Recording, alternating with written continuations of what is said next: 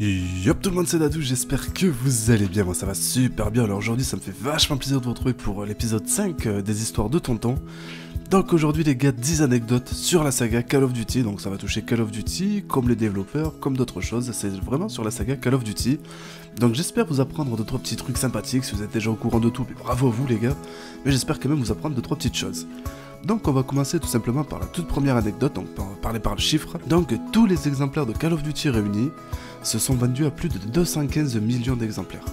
Donc c'est-à-dire toutes consoles confondues, etc., etc. Plus de 215 millions de jeux vendus. Donc bien entendu dans ce top-là je ne compte pas Call of Duty Online, ni Black Ops 3 où euh, c'est un petit peu trop tôt sorti. Enfin sorti trop tôt, c'est mieux dans ce sens-là. Mais bon, ça fait déjà un sacré chiffre. Et donc, justement, par rapport à ça, l'anecdote numéro 2, les deux Call of Duty qui se sont vendus le plus sont tout simplement Black Ops et Modern Warfare 3, à plus de 30 millions d'exemplaires chacun. Donc, les deux ont plutôt bien marché, on va dire.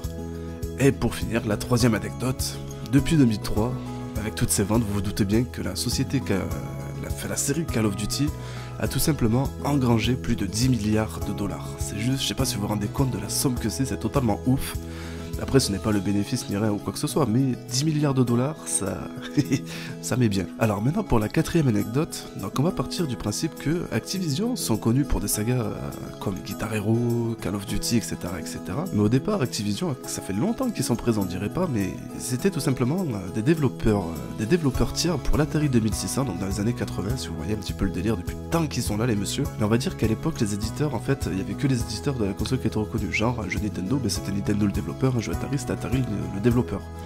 Donc ce qui fait qu'il y a eu pas mal de procès, etc., etc., entre, entre, Atari et Activision, justement, qui au final se sont plutôt bien passés, ce qui fait qu'en 1982, après justement pas mal de procès, un terrain d'entente a été trouvé justement pour mettre en avant les éditeurs, et bien le petit jeu Pitfall est sorti sur Atari 2600, qui est tout simplement le premier jeu de plateforme de tous les temps, et aussi par la même occasion le jeu le plus vendu de toute l'Atari 2600.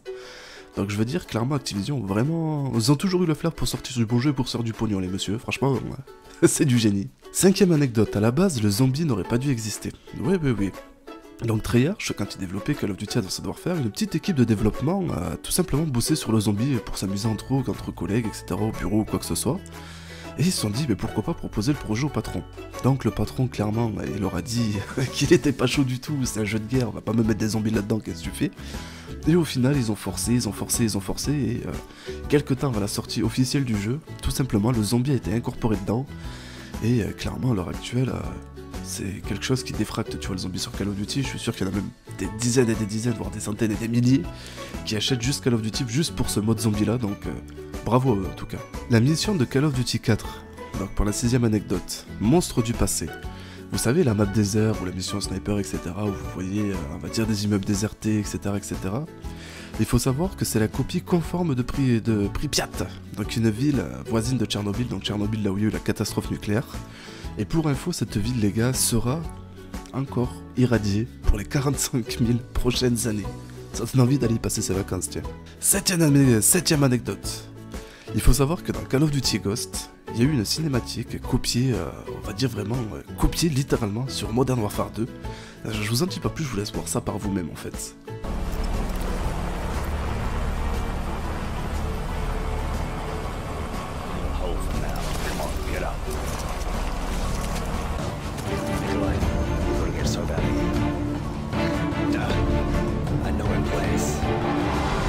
Huitième anecdote. La Galil. La Galil. Tout le monde connaît cette arme euh, fortement appréciée en zombie. Moi, je sais qu'avec la Galil, je me régale en zombie. En vrai, cette arme, c'est une arme de génie. Alors, moi, je sais que les armes, c'est pas très bien, mais celle-là, ils ont fait un petit truc qui est pas mal. Donc, beaucoup de soldats utilisaient leur chargeur euh, pour ouvrir leurs leur euh, bouteilles, que ce soit de bière, de coca, etc. Vous savez, les bouteilles en verre où ils font des décapsuleur. Mais beaucoup de soldats utilisaient justement leur chargeur, chose qui abîmait énormément les chargeurs des armes. Et donc, du coup, les, les concepteurs de la Galil se sont dit, tiens, et pourquoi pas mettre un décapsuleur sur l'arme Sans déconner les gars, ils ont mis un décapsuleur sur l'arme. Donc clairement, euh, vous n'avez pas d'ouvre-bouteille, hein. allez chercher la galie de votre voisin et au calme quoi. Enfin, si votre voisin est une galie, faites attention à vous quand même. Neuvième anecdote. Donc petite anecdote pas très très fun on va dire. Donc euh, il faut savoir que la plus grande coopérative de magasins norvégiens, donc euh, Coop Norge, a décidé tout simplement de ne plus vendre les jeux Call of Duty depuis juillet 2011. Alors le suite au terrible en fait, euh, terrible attaque, euh, on va dire d'un petit certain malade, euh, Anders Bering Breivik. Alors excusez-moi, je sais l'accent norvégien, je l'ai, faut, que je le travaille, faut que je le travaille, je sais. Donc en fait, ils ont tout simplement retiré tous les Call of Duty de la vente parce que cette personne-là, justement, qui a fait deux massacres euh, inhumains, était tout simplement fan de jeux vidéo et donc est aussi par la même occasion fan de la saga Call of Duty. Et donc pour la dixième et dernière anecdote, il faut savoir qu'à la base Infinity Ward a été créé par des développeurs, d'anciens développeurs de Medal of Honor. Donc vous savez Medal of Honor, le jeu de guerre qui était là bien avant Call of Duty, euh, développé par Electronic Arts. Il faut savoir que leur nom de code euh, pour le jeu était tout simplement Medal of Honor Killer on va dire, un petit clin d'œil un petit peu malsain à leur ancien employé. Et au final, ben, victoire, hein. ils ont détrôné euh, Medal of Honor, tout simplement, la saga euh, Sports, d'EA, ben, qui a vu son dernier Medal of Honor sortir en 2012 et depuis, euh, plus rien. Donc bravo messieurs, vous avez réussi. Et voilà les amis, ces 10 anecdotes, c'est déjà terminé, j'espère que vous aurez passé un bon petit moment à ma compagnie. N'hésitez pas dans les commentaires à me dire si vous, vous avez d'autres anecdotes sur la saga Call of Duty.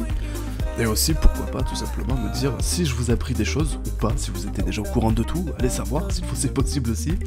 En tout cas, n'hésitez pas à me dire dans les commentaires ce que vous en avez pensé, quel prochain jeu on pourrait se faire ça, donc 10 anecdotes sur quel jeu. Je compte un maximum sur vous, je vous dis à plus tout le monde, c'était Dadou, allez, peace